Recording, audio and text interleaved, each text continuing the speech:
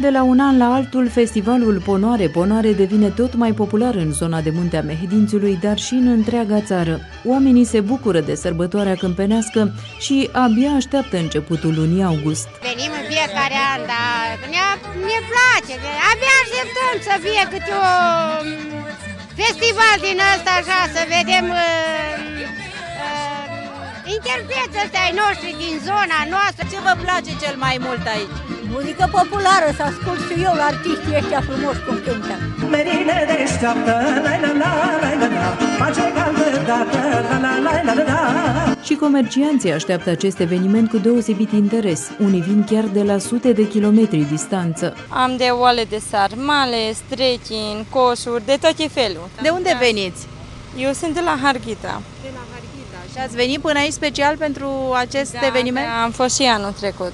La mare căutare a fost anul acesta peștele cu mușdei de usturoi preparat după rețete alese. 8 condimente, începând de la oregano, busuioc, uh, uh, magheran uh, și așa mai departe, cu un anumit fel de vegeta preparat și am un mixer special pentru mușdei, pentru usturoi. Și între atâtea preparate care mai de care mai sfârâietoare, e loc și pentru multă muzică bună, că doar e festival la ponoare.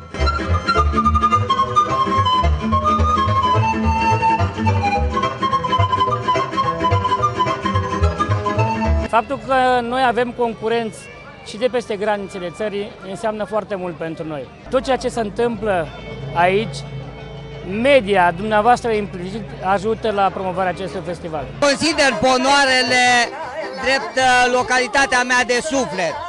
Nu m-am născut aici, dar am lucrat uh, 18 ani aici.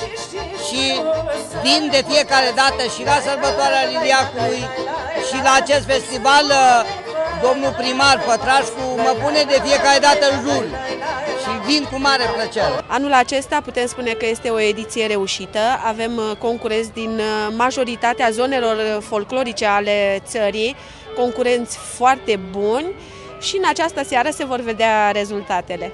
În ultima seară de festival, acompaniamentul muzical a fost asigurat de Orchestra Națională Valahia, condusă de dirijorul Marius Zorilă. Între membrii jurului s-a aflat și renumitul solist Petrică Mâțu Stoian, originar din plaiurile Izvernei. Lada de zestre a folclorului nostru românesc și al zonei noastre din Mehedinți nu s-a golit. Încă este plină și trebuie să promovăm și să arătăm întregii lumi că existăm ca nație și ca zonă. Președinte de juriu și director al festivalului a fost îndrăgita solistă Niculina Stoican, originară și ea din satul Prejna. Mă bucur pentru că festivalul crește, mă bucur pentru că oamenii mei de la munte au parte de o sărbătoare adevărată, așa cum merită ei să aibă, pentru că ne-am străduit din tot sufletul și eu și domnul primar și consilierii de la primărie să să facem cei mai frumoși și mai bine pentru festivalul ăsta și se vede lucrul ăsta pentru că a crescut foarte mult valoric uh, prin concurenți, prin uh, invitații care, pe care i-am adus, uh, prin partenerii media pe care i-am avut anul ăsta, prin elementele de noutate pe care le-am adus, ora gospodarilor de vineri seara, unde am dat un premiu pentru cea mai frumoasă pereche îmbrăcată în costum popular.